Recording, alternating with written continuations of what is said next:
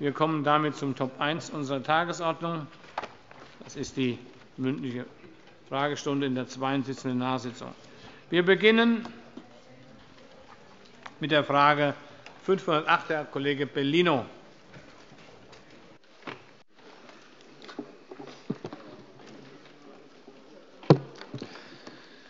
Herr Präsident, meine sehr geehrten Damen und Herren! Ich frage die Landesregierung, wie sie zehn Jahre nach ihrer Einrichtung die Bedeutung des Krisenstabs der Landesregierung einschätzt und bewertet. Gibt es hier irgendwo jemanden, der den Lautsprecher lauter stellen kann? Denn der Kollege Bellino, der sonst immer zu hören ist, war kaum zu hören. Wir haben die Frage gelesen. Ich lasse die jetzt zur Beantwortung zu. Das Wort hat der Herr Innenminister. Herr Präsident! Bitte aufmerksam. Herr Abgeordneter, Herr Abg. Bellino, seit 2005 bildet der Krisenstab der Hessischen Landesregierung die Spitze des Krisenmanagements in Hessen. Er führt die polizeiliche und nichtpolizeiliche Gefahrenabwehr zusammen und trifft bei Terroranschlägen, Katastrophen, Großschadenslagen und Verletzungen kritischer Infrastrukturen landesweit bedeutsame Entscheidungen. Hessen ist in den vergangenen zehn Jahren zum Glück von Großschadenslagen und landesweiten Katastrophen verschont geblieben. Die Einrichtung des Krisenzentrums wurde jedoch genutzt, um Einheiten des hessischen Katastrophenschutzes bei Hochwasser der, äh, beim Hochwasser an der Oder im Jahr 2010 bei ihrem ersten Auslandseinsatz anlässlich der Eiskatastrophe in Slowenien 2014 und aktuell bei der Unterbringung der Asylsuchenden und Flüchtlinge zu koordinieren. Der Krisenstab hat zudem bereits mehrere länderübergreifende Übungen absolviert. Im Ergebnis bleibt festzuhalten, dass es sich bei der Einrichtung des Krisenstabes um eine äußerst sinnvolle Maßnahme gehandelt hat, die sich bereits in der Vergangenheit bewährt und auch zukünftig weiter bewähren wird. Es ist ein wichtiger Baustein für die Sicherheit in Hessen. Zudem war und ist es bundesweit einmalig. Hessen ist mit dem Krisenstab der Landesregierung, der Landesregierung gut für den Ernstfall gewappnet. Nächste Frage, Frage 509, Herr Abg. Bauer. Ich frage die Landesregierung, wie viele verdachtsunabhängige Kontrollen hat die hessische Polizei 2015 durchgeführt? Herr Innenminister. Im Jahr 2015 wurden bei insgesamt 131.108 Kontrollen 254.508 Personen und 163.398 Fahrzeuge kontrolliert. Zusatzfrage, Herr Abg. Bauer. Welche Fahndungserfolge wurden dadurch erzielt? Herr Innenminister. Im Jahr 2015 kam es zu 6.880 Festnahmen und 13.763 eingeleiteten Ermittlungsverfahren mit 12.315 Tatverdächtigen, bei denen allein in 4.904 Fällen Betäubungsmittel sichergestellt wurde. Von den 12.315 Tatverdächtigen waren ein bisschen über 50% Nichtdeutsche. Dabei hatte der überwiegende Teil der ausländischen Tatverdächtigen den Wohnsitz im Inland. Keine weiteren Zusatzfragen. Dann kommen wir zur Frage 510, Herr Abg. Klein-Freigericht.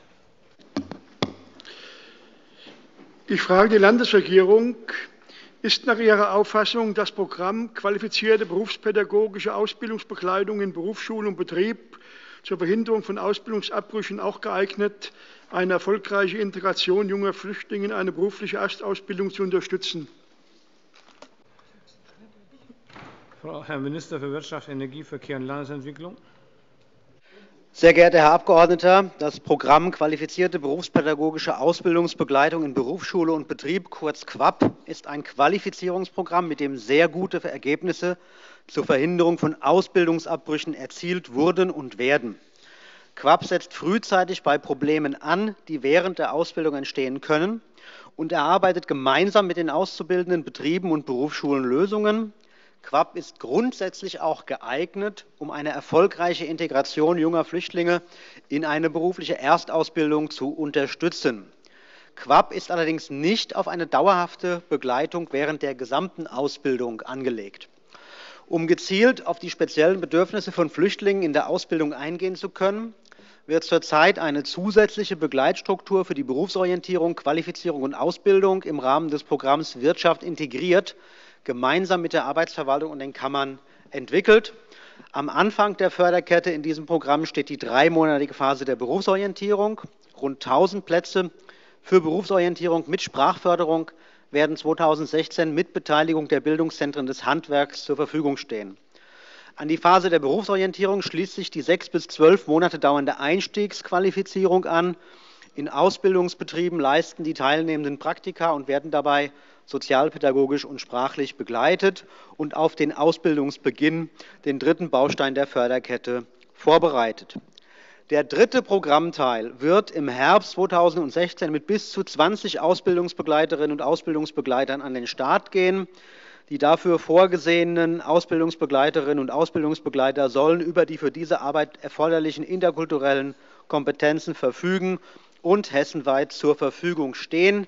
Sie werden innerhalb von Wirtschaft integriert, sowohl junge Flüchtlinge in betrieblicher Ausbildung als auch die ausbildenden Betriebe während der gesamten Ausbildung beratend begleiten. Die Ausbildungsbegleitungen werden in den Berufsbildungszentren der Kammern auf die jungen Flüchtlinge zugehen und bei der Kontaktaufnahme mit den Betrieben helfen.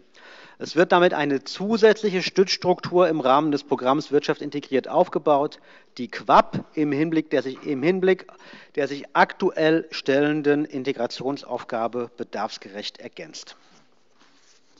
Zusatzfrage, Herr Abg. Klein.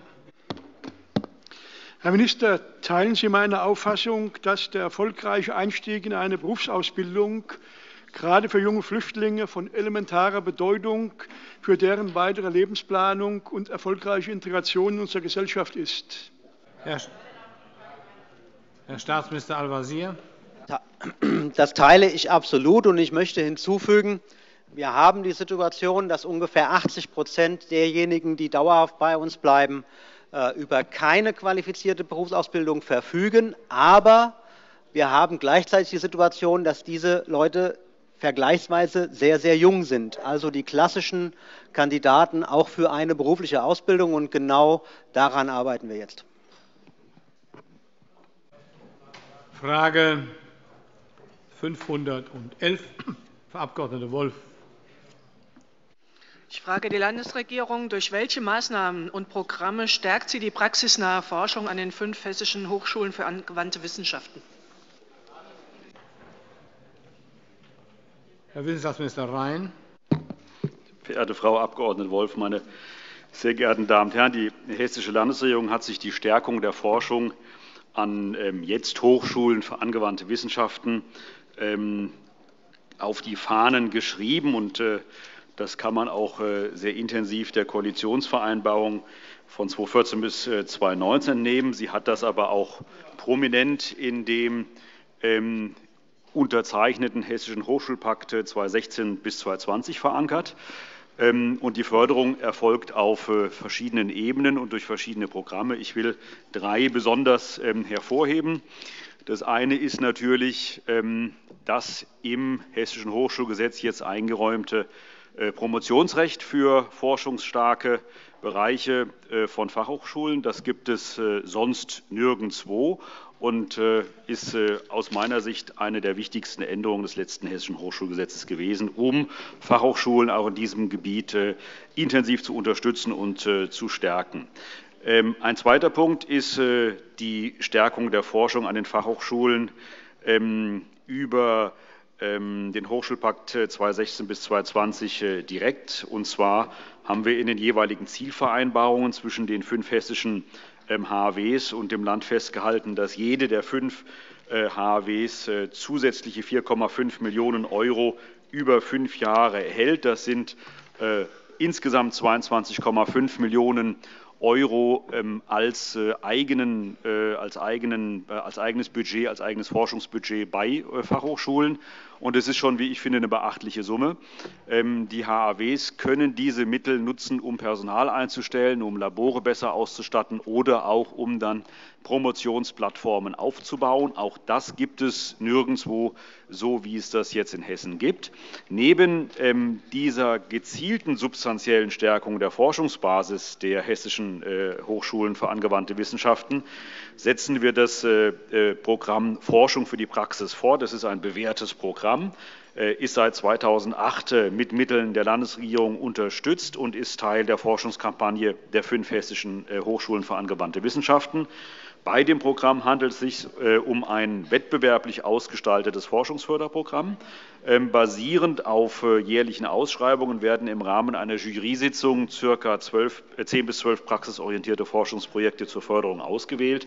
Und die Einzelprojekte werden dabei für zwölf Monate mit bis zu 35.000 Euro und Kooperationsprojekte mehrerer Fachhochschulen mit bis zu 70.000 Euro äh, gefördert. Die Kampagne umfasst neben dem direkten Forschungsförderprogramm noch einen ähm, alle zwei Jahre auszulobenden Forschungspreis für besonders erfolgreiche praxisrelevante Forschungsprojekte der hessischen Hochschulen für angewandte Wissenschaften. Ähm, diese Forschungskampagne wird als dritte Säule seitens des äh, Hessischen Ministeriums für Wissenschaft und Kunst im Zeitraum 2008 bis 2020 mit insgesamt 6,25 äh, Millionen Euro unterstützt. Ähm, das zeigt meines Erachtens sehr deutlich, dass wir ähm, die Stärkung der Forschung an Fachhochschulen intensiv angepackt haben und äh, auf das wir heute Abend im Rahmen des Parlamentarischen Abends mit den Hochschulen für angewandte Wissenschaften auch kräftig anstoßen sollten. Nächste Zusatzfrage. Frau Dr. Sommer, bitte schön. Sehr geehrter Herr Minister, praxisnahe Forschung hat ja auch immer etwas mit äh, dem Wissenstransfer zu tun. Deswegen meine Frage noch einmal, wie fördern Sie denn den Transfer wissenschaftlicher Kenntnisse in die Praxis und welche Förderinstrumente gibt es hochschulübergreifend und interdisziplinär? Herr Staatsminister Rhein. Da gibt es äh, so viele im Rahmen der Hochschulautonomie gewachsene, erfolgreiche äh, Maßnahmen, äh, die es, wenn ich sie jetzt aufzählen sollte, zu, zumal ich sie auch nicht aus dem Kopf auszählen könnte, kann ich Ihnen alles auflisten, sind sehr intensiv, sind sehr stark, sind sehr erfolgreich. Die Uni Kassel beispielsweise ähm, hat hier ein äh, großartiges Programm aufgelegt. Aber das gibt es äh, beispielsweise auch an der Goethe-Uni. Aber das kann ich Ihnen gerne auflisten. Wie gesagt, auswendig kann ich sie Ihnen nicht nennen, weil sie einfach zu umfangreich sind. Ähm, aber das läuft natürlich im Rahmen ähm, eines äh, sehr Abgeordnete Rote ist empört darüber. Das läuft natürlich im Rahmen der intensiven Förderung über den Hochschulpakt 2016 bis 2020. Sie kennen ja die Zahl 9 Milliarden Euro, die wir da äh, für die nächsten fünf Jahre investieren. Das ist die höchste jemals dagewesene Summe, die den Universitäten und den Hochschulen insgesamt in Hessen zur Verfügung steht. Dann kommen wir jetzt zur Frage 512, Herr Abg. Greilich. Ich frage die Landesregierung, ob sie plant, zur Ergänzung der polizeilichen Kriminalstatistik eine Dunkelfeldstudie durchzuführen, wie es sie beispielsweise in Niedersachsen gibt. Herr Innenminister Beuth. Herr Abgeordneter, die Einbeziehung wissenschaftlicher Expertise in die Arbeit der Sicherheitsbehörden ist seit Jahren gelebte Praxis im Bund und in den Ländern. Da die polizeiliche Kriminalstatistik nur das polizeilich bekannt gewordene Hellfeld der Straftaten abbildet, können Dunkelfeldstudien ergänzend dazu beitragen, den Blick auf die Sicherheitslage zu verbessern. Vor dem Hintergrund wird die Dunkelfeldstudie des Landeskriminalamtes Niedersachsen Befragung zur Sicherheit und Kriminalität in Niedersachsen 2015 und die Bereitschaft, diese Erkenntnisse bundesweit zur Verfügung zu stellen, ausdrücklich begrüßt. Diese Studie ist natürlich auch der hessischen Polizei bekannt. Die Ergebnisse fließen in die Arbeit der Experten der Polizeipräsidien beim Hessischen Landeskriminalamt und im Landespolizeipräsidium sowie in die Aus- und Fortbildung ein. Die Implementierung einer repräsentativen Dunkelfelduntersuchung auf nationaler Ebene war in Form des vom Bundesministerium für Bildung und Forschung finanzierten Verbundprojektes Barometer Sicherheit in Deutschland bereits im Jahr 2012 umgesetzt worden. Daran hat sich auch die hessische Polizei damals beteiligt. Die Durchführung einer eigenen Dunkelfeldstudie in Hessen ist vor dem Hintergrund der vorliegenden aktuellen Studien derzeit nicht geplant. In dem bereits erwähnten Projekt des Bundesministeriums für Bildung und Forschung war mit dem deutschen Victimisierungssurvey 2012 eine in dieser Form und in diesem Umfang bislang in Deutschland nicht durchgeführte bundesweite Dunkelfeldbefragung von 35.000 Personen unter anderem zu Opfer Sucherlebnissen zum Sicherheitsgefühl bzw. zur Kriminalitätsfurcht und zum Anzeigeverhalten durchgeführt worden. Ein Vorteil einer bundesweiten Dunkelfeldforschung ist die mögliche Vergleichbarkeit zwischen den Bundesländern.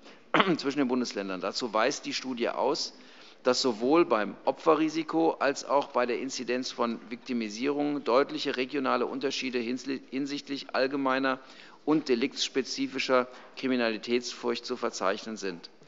Aufgrund der gewählten Methodik können auch schwere und daher eher seltene Straftaten verlässlich abgebildet werden und weiterhin Kriminalitätsanalysen für kleinere Räume durchgeführt werden.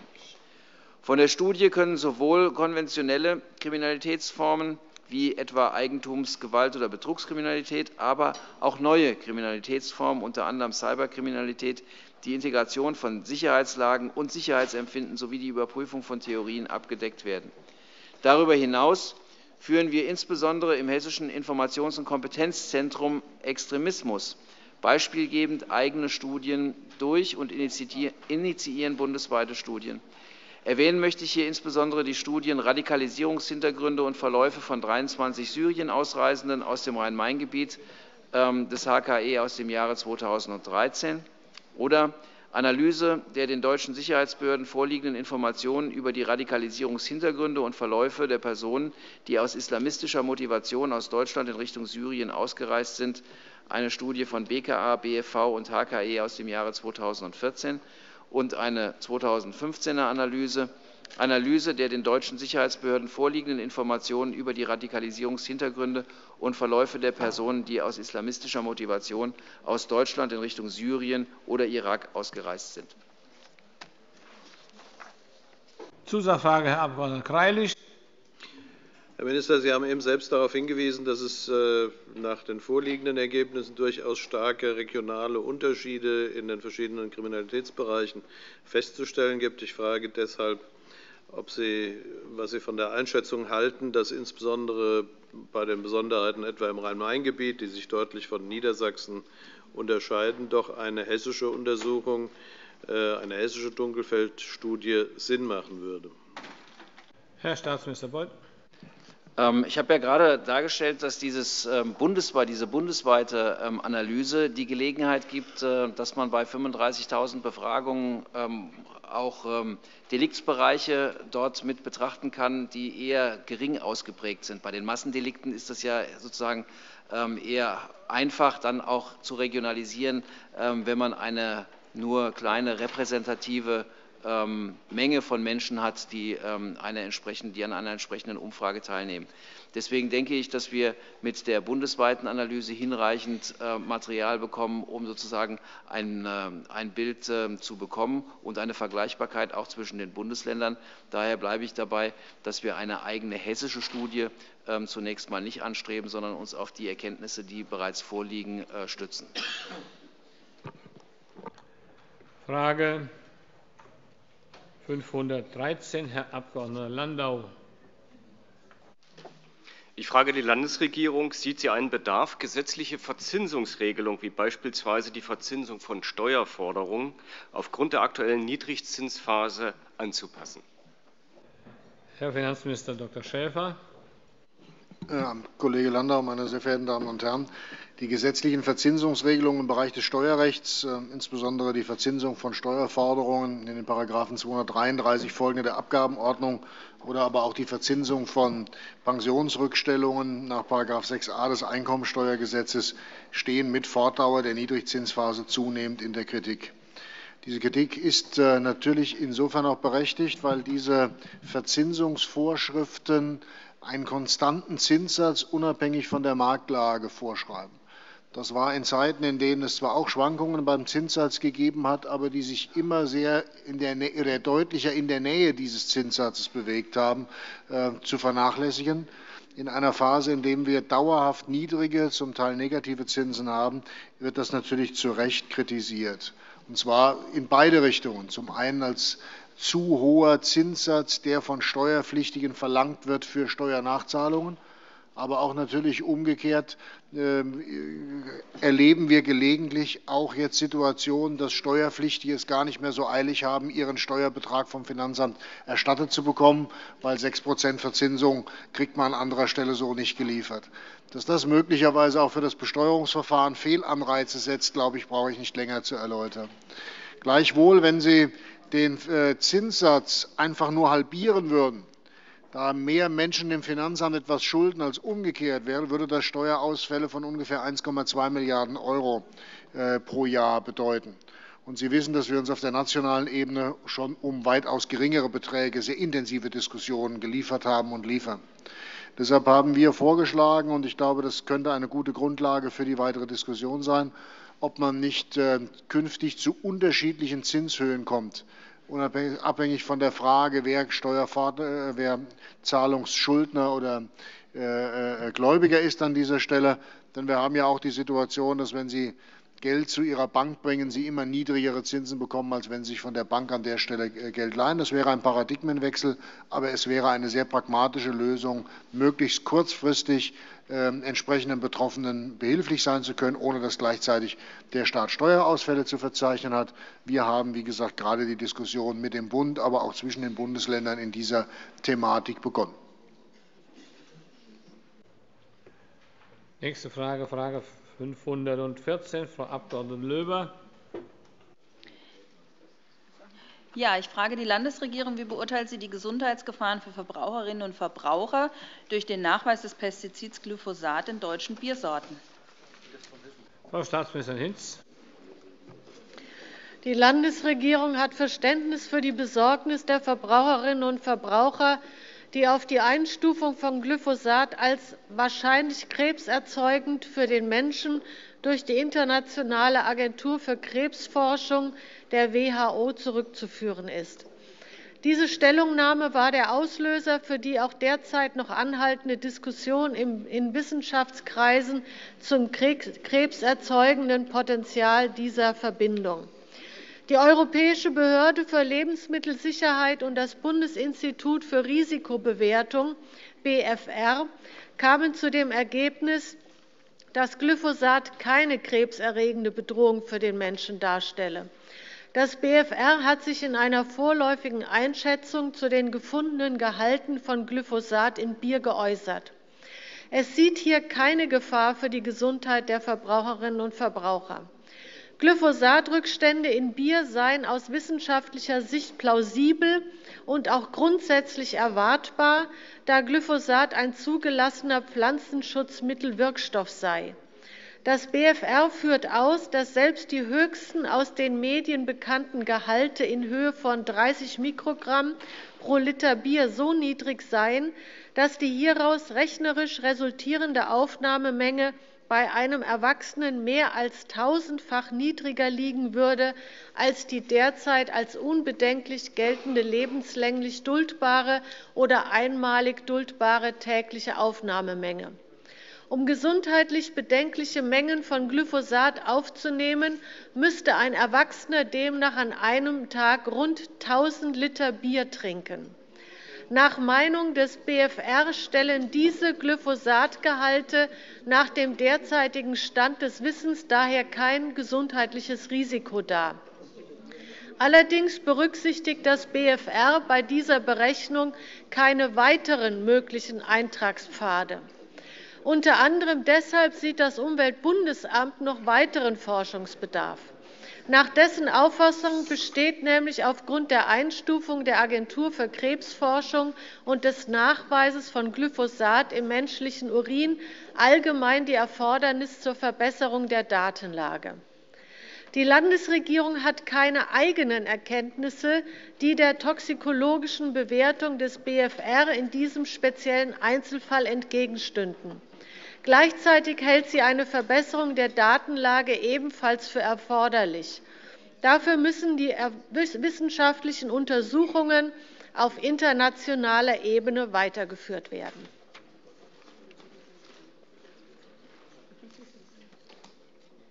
Zusatzfrage, Frau Kollegin Löber. Vielen Dank. Wie beurteilt die Landesregierung, dass Glyphosat in Hygieneartikeln vom Hessischen Landeslabor bei Kontrollen gefunden wurde in der Mehrzahl der Stichproben oberhalb der Grenzwerte oder deutlich oberhalb der bestehenden Grenzwerte. Frau Staatsministerin Hinz. Ja, das zeigt auf der einen Seite, dass unsere Kontrollen gut sind, weil wir ähm, solche Eintragspfade ja dann auch und Wirkstoffe in Gebrauchsgegenständen erkennen. Auf der anderen Seite wird natürlich dadurch auch deutlich, wo der Wirkstoff Glyphosat überall drin ist. Deswegen halte ich es ja für notwendig, dass weitere wissenschaftliche Untersuchungen getätigt werden, um zu klären, auf welchem Pfad es tatsächlich Aufnahme gibt im Körper und wie viel oder auf welche Höhe der Grenzwert künftig festgelegt werden sollte, um äh, vorsorgenden Gesundheitsschutz auch wirklich betreiben zu können.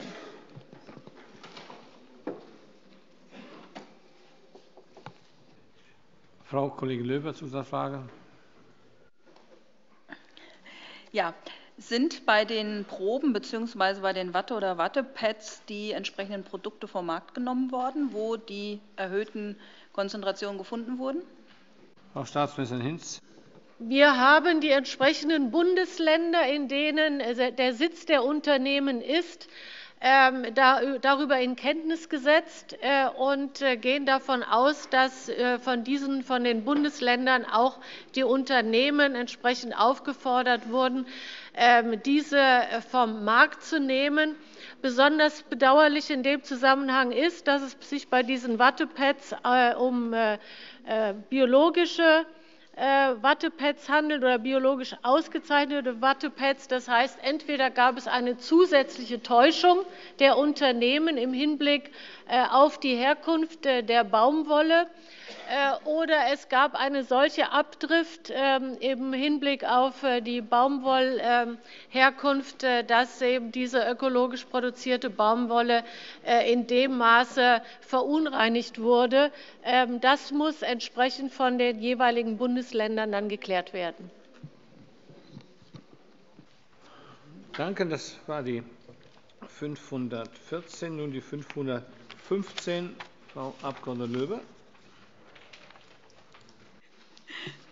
Ich frage die Landesregierung, wann erfolgt die Novellierung der Verordnung über Belegstellen für Honigbienen, damit Ordnungswidrigkeiten nach der erfolgten Änderung des Gesetzes zum Vollzug von Aufgaben in den Bereichen Landwirtschaft, der Landschaftspflege, der Dorf- und Regionalentwicklung und des ländlichen Tourismus endlich geahndet werden können.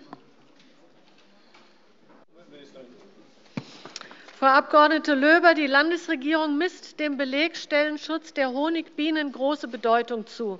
Deshalb wurde im vergangenen Jahr das Gesetz zum Vollzug von Aufgaben in den Bereichen der Landwirtschaft, der Landschaftspflege, der Dorf- und Regionalentwicklung und des ländlichen Tourismus geändert. Mit dem Gesetz vom 20. Dezember 2015 wurde die Ermächtigungsgrundlage für die Ahndung von Ordnungswidrigkeiten geschaffen. Auf dieser Rechtsgrundlage wird derzeit die Verordnung über Belegstellen in Abstimmung mit dem Imkerverband novelliert. Diese Verordnung ist dann die Grundlage für die Ahndung von Ordnungswidrigkeiten. Es ist allerdings vorgesehen, nicht nur dieses zu regeln, sondern die Verordnung insgesamt zu straffen und zu vereinfachen. Hierzu wurden bereits Stellungnahmen des Imkerverbandes und des LLH Bieneninstituts als Vollzugsbehörde eingeholt, die bei der Novellierung berücksichtigt werden sollen. Am 15.04. hat die AVV darüber entschieden, und zwar positiv über den ähm, äh, Entwurf, den Vorentwurf der Verordnung. Am 18.04. begann die Abstimmung mit dem Justizministerium. Die ist noch nicht äh, vollständig abgeschlossen. Danach erfolgt die Beteiligung des Landesagrarausschusses als berufsständischer Vertretung sowie des Landesverbandes Hessischer Imker als Fachverband, weil die dann noch einmal beteiligt werden müssen. Ich äh, will damit eine größtmögliche Zustimmung für den Verordnungsentwurf erreichen. Nächste Frage ist Frage 518, Herr Abgeordneter. Ja, Frau Löber, Sie brauchen nur die Hand zu heben, dann sehe ich Sie sofort. Danke schön. Sie haben nicht die Hand gehoben, deswegen bitte um Entschuldigung. Sie haben das Wort. Danke schön. Ähm, Kann die Landesregierung einschätzen, wie lange dieser Prozess der Beteiligung, der sicherlich ähm, sinnvoll ist, noch dauert? Frau Umweltministerin. Nein, das kann ich nicht genau sagen. Das kommt ja darauf an, äh, wie die äh, Verbände ähm, äh, sich, wie schnell die sich zurückmelden. Und äh, das äh, kann ich jetzt von jetzt ab äh, schlecht sehen. Je schneller die sich zurückmelden und wir das Ganze dann einarbeiten können, wenn, die Stellungnahme umfangreich ist, umso schneller geht es dann in, in die Verordnung hinein, also in den Beschluss zur Verordnung. Wenn es überhaupt keine Notwendigkeit mehr für Rückmeldung gibt, dann kriegen wir relativ schnell Fehlanzeige. Dann müssen wir nicht mehr überarbeiten. Also das hängt ganz davon ab, wie schnell die Verbände sind. Das war's? Dankeschön. Frage 518, Herr Abg. Landau. Ich frage die Landesregierung, welche Haltung nimmt sie bei der Gewerbesteuerhinzurechnung von eingekauften Zimmernkontingenten der Reiseveranstalter mit Blick auf eine Entscheidung des Finanzgerichtes Münster vom Februar dieses Jahres ein? Herr Finanzminister Dr. Schäfer. Herr Abg. Landau, das von Ihnen angesprochene Verfahren wurde immer als sogenanntes Musterklageverfahren in dieser Seite angesehen. Konkret geht es dabei um die Frage, ob insbesondere Pauschalreiseunternehmen die von ihnen gebuchten Hotelzimmer, die sie ja dann an Urlaubsreisende weitervermieten, so ist das Geschäftsmodell, bei der Gewerbesteuer als Mietobjekte berücksichtigen müssen oder nicht. Denn wenn es Mietobjekte sind, im Anderervermögen landen, gilt es am Ende entsprechende Hinzurechnungstatbestände, die Gewerbesteuer auf einen äh, Mietertrag fällig werden lassen, der ja am Ende gar nicht ersteht, sondern nur ein durchlaufender Posten ist. Ähm, die Hoffnungen, die viele der Beteiligten in diese Entscheidung des Finanzgerichts in Münster gesetzt haben, haben sich nach der ersten Lektüre der Entscheidungsgründe jedenfalls nicht restlos bewahrheitet, weil der zugrunde liegende Sachverhalt wohl offensichtlich ein Stück weiter weg von dem äh, ist, was äh, dort die meisten anderen betroffenen Unternehmen äh, für streitgegenständlich halten. Deshalb läuft im Moment noch die Auswertung der Möglichkeiten, dort für Rechtsklarheit zu sein im Kreis von äh, Bund und Ländern. Ich verhehle nicht, dass das Land Hessen in dieser Frage die Einschätzung ähm, versucht hat, auch in den bundesweiten Gremien zu prägen, dass dort gegebenenfalls gesetzgeberischer Handlungsbedarf nicht ausgeschlossen werden kann. Das war jetzt die für bundesweit tagende äh, äh, Gremien die größtmögliche diplomatische Höflichkeit noch verwendbare Klarheit. Frage 521, Herr Abg. Tipi. Herr Präsident, ich frage die Landesregierung, wie beteiligt sie sich beim Projekt zur Unterstützung der hessischen Ausländerbehörden? Herr Sozialminister Grüttner.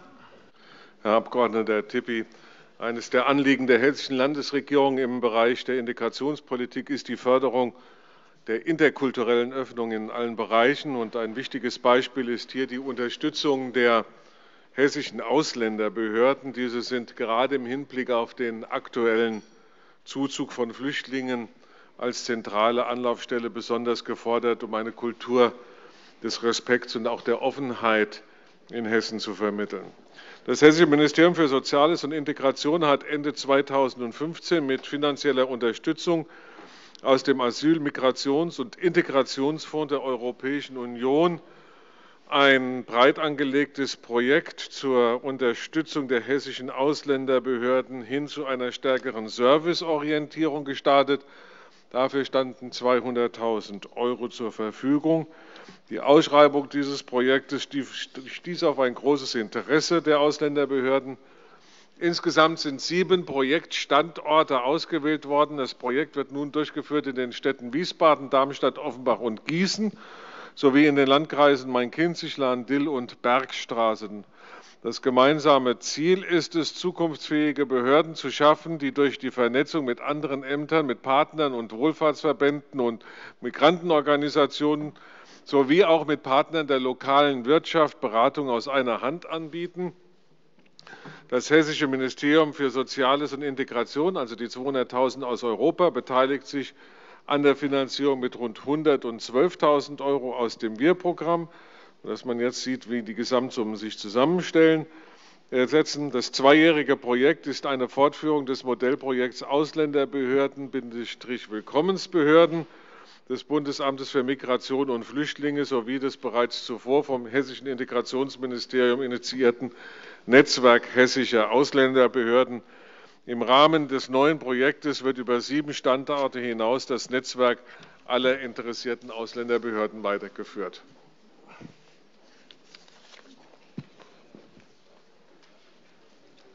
Dann war das Frau Kollegin Öztürk-Ada.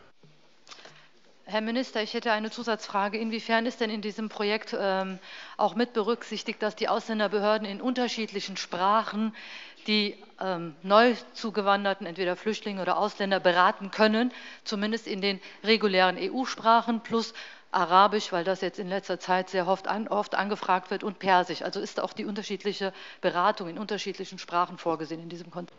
Herr Staatsminister Grüttner. Frau Abgeordnete, das ist Bestandteil des Projekts. Dann komme ich zur Frage 522, Herr Abg. Reul. Die Landesregierung, wie fördert sie den Abbau noch vorhandener Barrieren von Menschen mit Behinderungen in Hessen? Herr Staatsminister Grüttner. Herr Abg. Reul, die Hessische Landesregierung fördert den Abbau von Barrieren durch umfangreiche Maßnahmen. Die sind unter anderem natürlich in dem Hessischen Aktionsplan zur Umsetzung der UN-Behindertenrechtskonvention festgehalten. In der ersten Fortschreibung, die am 1. Februar 2016 durch das Kabinett zur Veröffentlichung freigegeben wurde, lassen sich Maßnahmen in den verschiedensten Bereichen entnehmen.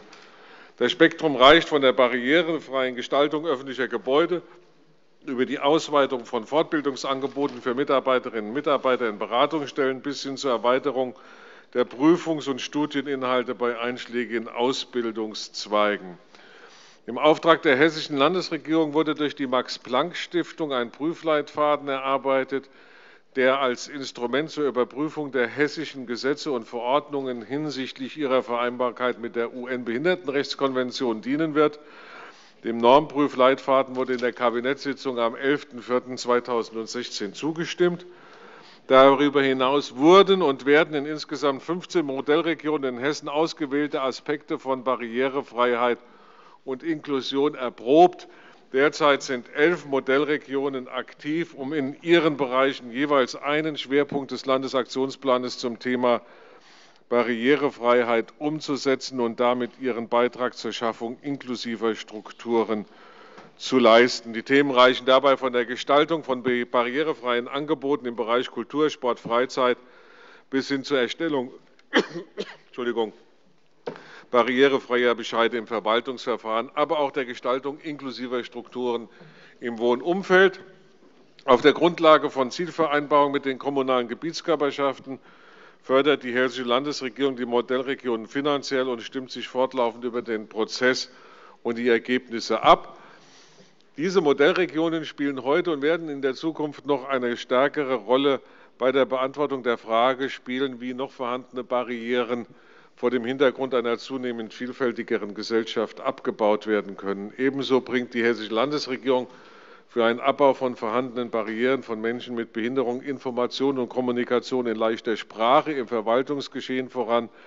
Hierzu wurden bereits einige Broschüren in leichte Sprache übersetzt. Zu nennen sind unter anderem das Betreuungsrecht, das Heimgesetz, die Familienkarte oder auch das Bildungsurlaubsgesetz. Weitere werden noch folgen. Und in der letzten Woche hat ähm, die Landesbeauftragte für Fragen für Menschen mit Behinderungen äh, gemeinsam mit mir in einer öffentlichen Vorstellung einen Plan dargestellt, wie wir in den nächsten anderthalb Jahren mit verschiedenen Maßnahmen äh, die Fragestellung von Barrierefreiheit und inklusiven Leben äh, in Hessen auch noch weiter verstärken wollen. Wobei der Kernsatz an dieser Stelle ist, Inklusion ist nicht etwas, was nur Menschen mit Beeinträchtigungen und Behinderungen betrifft.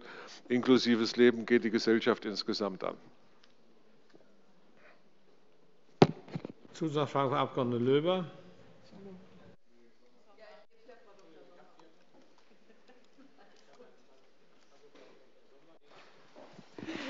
Ja, vielen Dank. Herr Minister, Sie haben eben schon ähm, die Verwaltung angesprochen, dass dort auch ähm, Barrieren abgebaut werden sollen. Wir haben letzte Woche mitbekommen, dass die Barrieren auch in Bundesbehörden ähm, beschlossen wurden.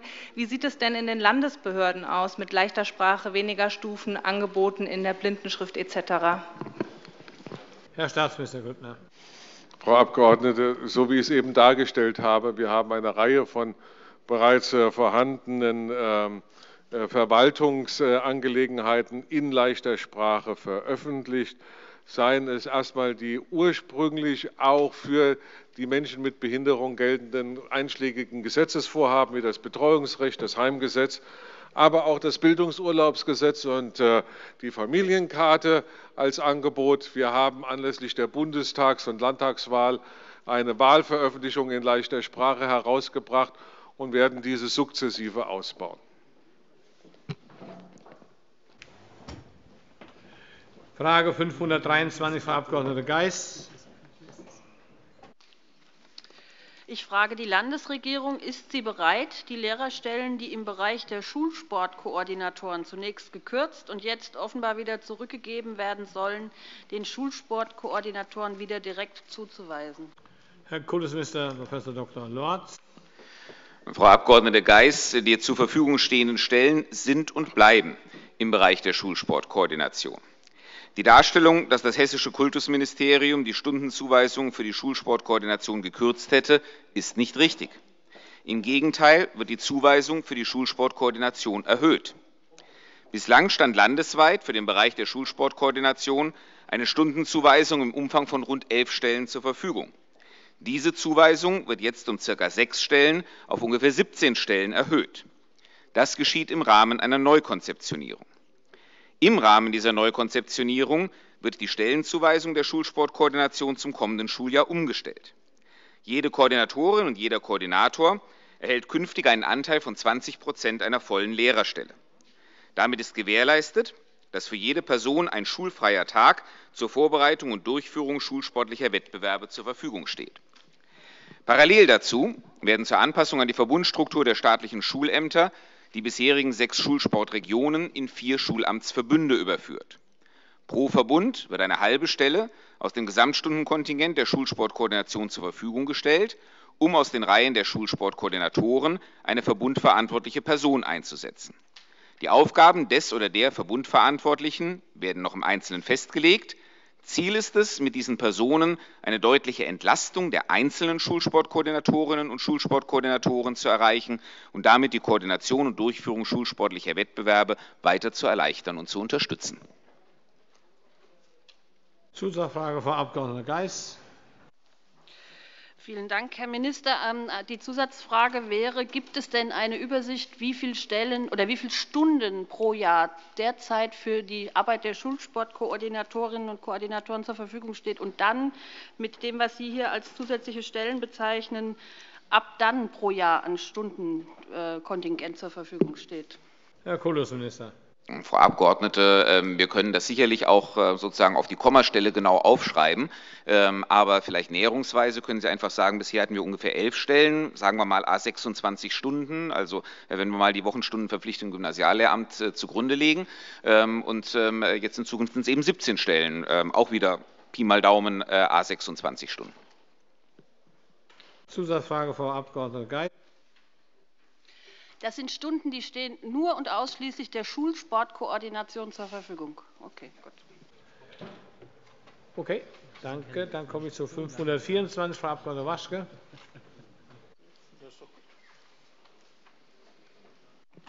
Ich frage die Landesregierung, wie ist der Sachstand der Machbarkeitsstudie zur Sanierung und Erweiterung des Grönhof-Hauses auf der Wasserkuppe?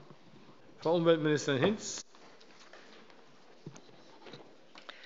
Frau Abgeordnete, der Landkreis Fulda hat mit Unterstützung des Ministeriums für Umwelt, Klimaschutz, Landwirtschaft und Verbraucherschutz eine Machbarkeitsstudie für die Sanierung und bauliche Ertüchtigung der ehemaligen Kasernenanlage auf der Wasserkuppe erarbeiten lassen.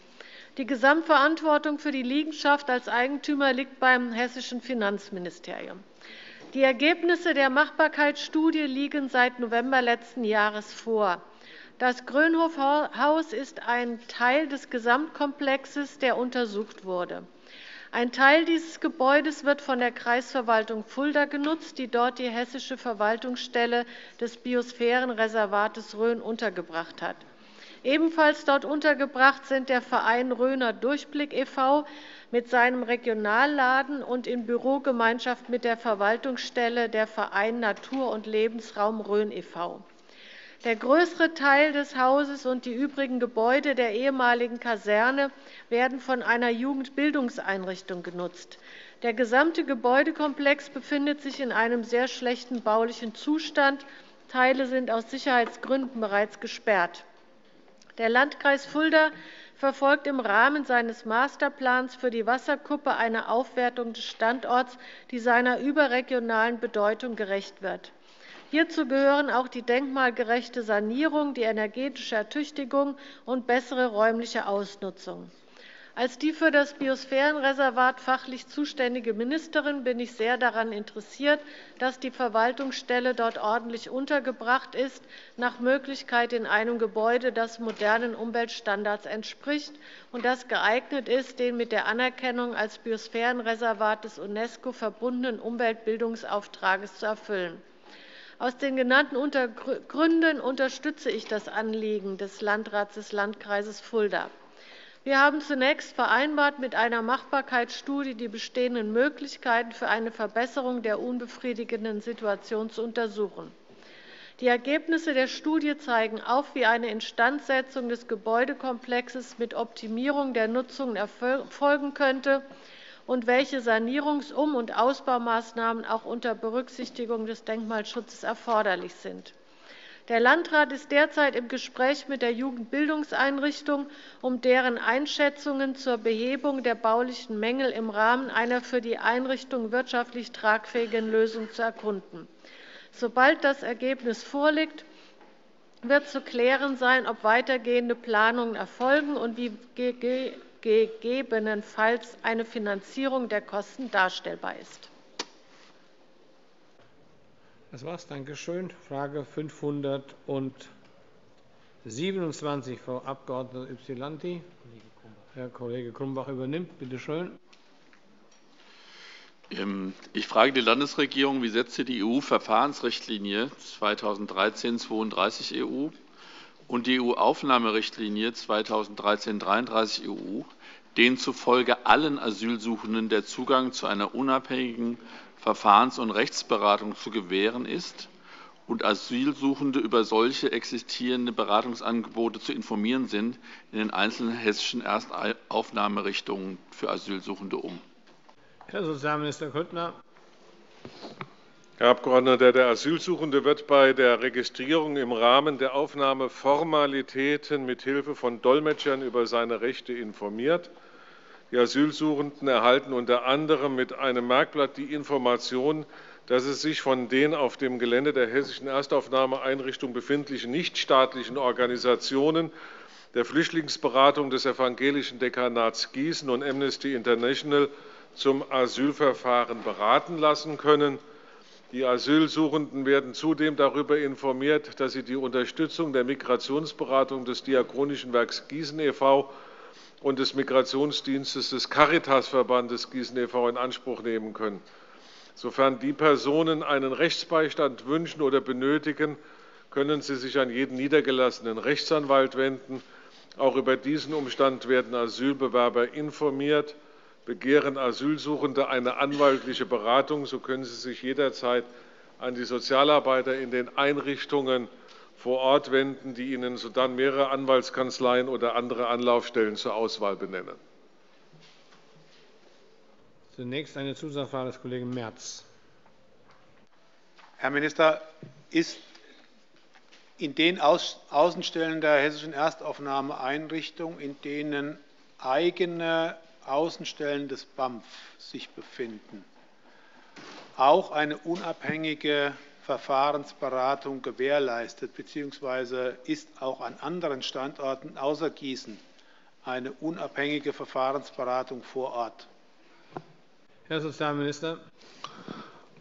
Die Informationen darüber erhalten die Asylsuchenden an jedem Standort. Nicht an jedem Standort gibt es eine entsprechende Beratungsstelle des Caritasverbandes oder der Diakonie, aber die Hinweise auf die anwaltliche Beratung findet an jedem Ort statt. Äh, darüber hinaus, ähm, deswegen werde ich ähm, auch gleich diese Sitzung äh, verlassen müssen, ist äh, heute der Präsident des BAMFs in Gießen, um äh, gemeinsam mit mir darzustellen, das neue Bearbeitungs- und Ankunftszentrum. In Zukunft werden alle Asylsuchenden in Gießen registriert und auch dort entsprechende Bearbeitungen vorgenommen. Das heißt, die werden auch eine Zeit lang in Gießen äh, bleiben, bis die Formalitäten äh, beendet sind. Insofern haben diese dann unmittelbar den Zugang auch zu den Organisationen vor Ort, deren äh, die Möglichkeiten waren ansonsten nur durch Transport nach Gießen gegeben oder entsprechend durch Beratung von niedergelassenen Anwälten in der Region. Nächste Zusatzfrage, Herr Kollege Grumbach. Ähm, Herr Minister, ist äh, Ihnen bekannt, ob in der Ersteinnahmeeinrichtung in Fechenheim es wegen Raumbedarf Beratungsprobleme gibt? Herr Sozialminister. Herr Abgeordneter, das kann ich Ihnen momentan nicht sagen, gehe aber der Frage nach. Zusatzfrage, Frau Kollegin Schott. Herr Minister, wie kann die unabhängige Rechtsberatung von Flüchtlingen sichergestellt werden, die mittellos sind? Augenblick, Herr Minister, bitte schön. Es gibt einen Anspruch auf diese Rechtsberatung und im Zweifel werden die entsprechend entstehenden Kosten auch von äh, dem Kostenträger, nämlich dem Land, übernommen. Jetzt könnte nur noch Herr Grumbach. So, erledigt. Okay, danke schön. Nein. Es gibt ein paar Regeln, die halten wir noch ein. Danke schön. Ich rufe auf die Frage 528 Frau Abg. Ravensburg. Ich frage die Landesregierung, wird im Zuge der geplanten Erneuerung der Bahnhöfe in Wabern und Borken entlang der Main-Weser-Strecke Kassel-Frankfurt am Main ein behindertengerechter Umbau der Bahnsteige und Zuwege gewährleistet? Herr Wirtschaftsminister Al-Wazir. Sehr geehrte Frau Abgeordnete, ja, für die Bahnhöfe Wabern und Borken wird ein behindertengerechter Umbau der Bahnsteige und Zuwege gewährleistet.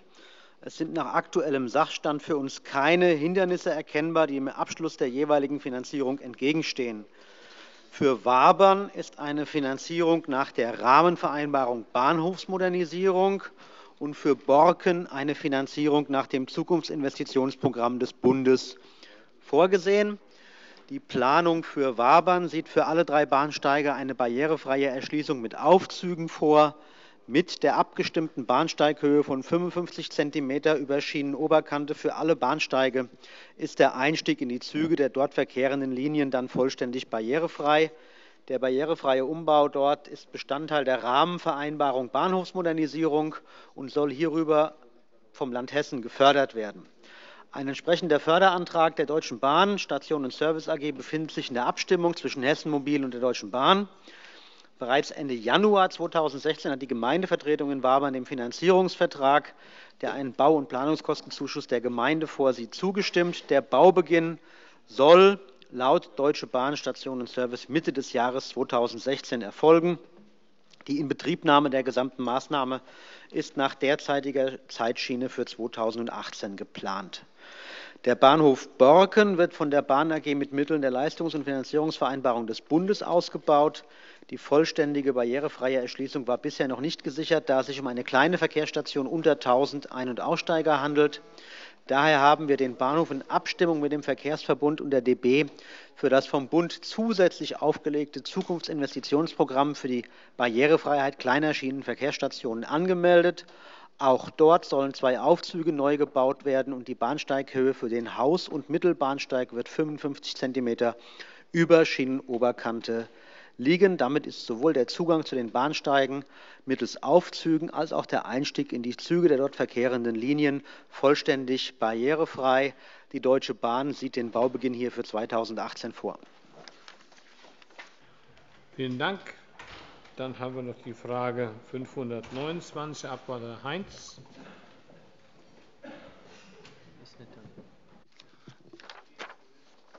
Ich frage die Landesregierung, welche Maßnahmen ergreift sie, um junge Menschen für den Polizeiberuf zu gewinnen? Herr Innenminister Beuth. Herr Abg. Dietz, auch im Jahr 2016 wird für die hessische Polizei mit einem Personalwerbekonzept gezielt für den Polizeiberuf geworben. Es werden Werbemaßnahmen für verschiedene Zielgruppen durchgeführt, die trotz unterschiedlicher Gestaltung durch ein zentrales Leitmotiv als zusammengehörend erkennbar sind. Die Werbekampagne erfolgt mit, äh, mit ständiger, in unregelmäßigen Abständen über mehrere Monate dauernde Präsenz des Arbeitgebers Polizei Hessen in der Öffentlichkeit. Dies wird erreicht, indem über die unterschiedliche Medien hessenweit Werbemaßnahmen veranlasst werden. Die darf ich Ihnen wie folgt kurz darstellen. Wir haben Citylight-Poster in verschiedenen Städten, animierte Ausstrahlung über Infoscreenwände in diversen Bahnhöfen, Big Banner und ähm, Groundposter, Heckflächen von Bussen als Werbeflächen, Werbeanzeigen in Studenten- und Abi-Zeitungen, Radiospots, hessenweite Veranstaltungen wie unter anderem die Nacht der Bewerber, in denen Informationen über Polizeiberufe in Hessen präsentiert werden, Einrichtung von einer Facebook-Seite, Polizei Hessen Karriere, so heißt die, wir haben die Zusammenarbeit mit der Bundesagentur für Arbeit. Wir haben Präsenz bei den Online-Messen wie ähm, Azubicon und Rhein-Main-Presse. Wir haben Werbung auf dem Hessentag, Infoveranstaltungen durch die Einstellungsberater der hessischen Polizei, Ausstrahlung eines Kinospots, ähm, der den Polizeiberuf in Hessen darstellt, die Kampagne zur Information für Menschen mit Migrationshintergrund und ohne deutsche Staatsangehörigkeit über den Polizeiberuf in Hessen und die Einrichtung eines Instagram-Accounts und eines YouTube YouTube-Channels. Daneben wird die Zusammenarbeit der Einstellungsberaterinnen und Berater in den Polizeipräsidien mit Sportvereinen und sportlichen Sympathie- und Werbeträgern in Zusammenarbeit mit den Migrationsbeauftragten sowie der Kontakt mit ausländischen Einrichtungen, z. B. Kultur- und Elternvereine oder Konsulate, weiter fortgeführt. Bei der Suche nach Nachwuchs geht die hessische Polizei seit Anfang des Jahres neue Wege. Um das Bewerbungsverfahren für junge Menschen noch attraktiver zu machen, gibt es im Zeitalter von Social Media ab sofort die Möglichkeit, die Bewerbung für den gehobenen Polizeivollzugsdienst größtenteils online einzureichen. Die Online-Bewerbung ist der zeitgemäße und kurze Weg zu einem Job bei der hessischen Polizei. Jetzt können Bewerbungen noch schneller bearbeitet werden, und der Dialog mit den interessierten jungen Frauen und Männern startet früher. Die Online-Bewerbung beginnt mit der ersten Phase eines zweistufigen Verfahrens, dessen Ziel ein letztendlich papierloses Bewerbungs- und Auswahlverfahren ist. Überdies ist ein vereinfachtes Bewerbungsverfahren in Vorbereitung, um Interessentinnen und Interessenten die Bewerbung weiter zu erleichtern.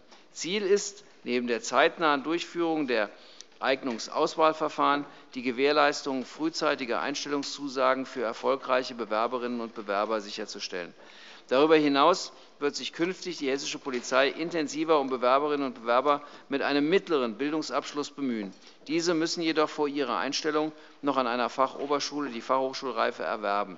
Hierzu wird die hessische Polizei enger mit den hessischen Fachoberschulen zusammenarbeiten, gezielte Werbemaßnahmen durchführen sowie für die besondere Zielgruppe Unterstützungsmaßnahmen anbieten, um den Zugang zum Polizeiberuf zu erleichtern. Hierdurch kann auch der Anteil der Bewerberinnen und Bewerber mit Migrationshintergrund weiter erhöht werden.